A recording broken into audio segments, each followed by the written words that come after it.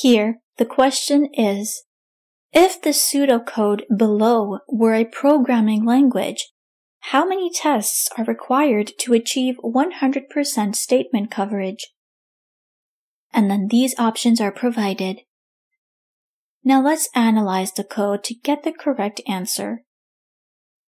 Line 1 is if x equals to 3. This is a condition, so we can represent it like this on the flowchart. If this condition is true, line number 2, display message X will execute. Since it is a statement, we can represent it like this. Line number 3 is if y equals to 2. This is a condition and since the first condition is not yet closed, we have to place it here in flowchart.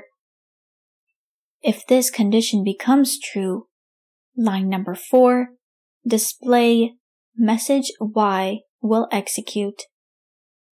Since it is a statement, we can represent it like this.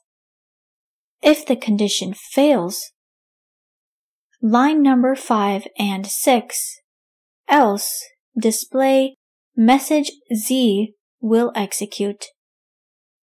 Since it is a statement, we can represent it like this.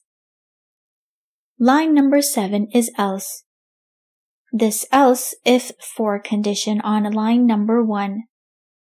If the condition fails line number 8, display message Z will execute.